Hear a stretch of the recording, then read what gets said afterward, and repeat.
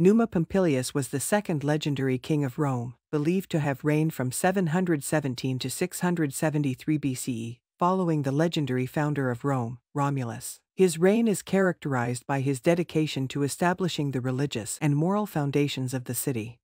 According to Roman mythology, Numa was a Sabine who was chosen by the Roman Senate to succeed Romulus as king after his mysterious death. Numa was renowned for his wisdom, piety, and peaceful nature, in contrast to the more martial Romulus. During his rule, Numa focused on creating a just and orderly society.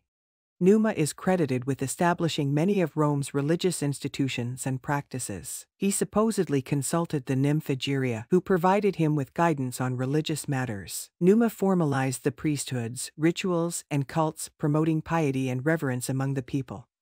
Numa is said to have introduced the Roman calendar, which was lunar based and included months and days dedicated to specific deities. This calendar formed the basis for the later Julian calendar. He was responsible for constructing several important temples in Rome, including the Temple of Janus, a symbol of peace and war, which was closed during times of peace. Numa's reign was characterized by a commitment to peace and harmony. He established laws and customs aimed at resolving disputes and maintaining social order.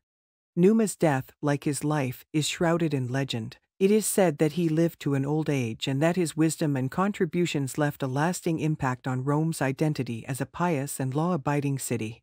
While the historical accuracy of Numa's life and reign is difficult to verify due to the lack of contemporary written records, he remains an essential figure in Roman mythology and tradition.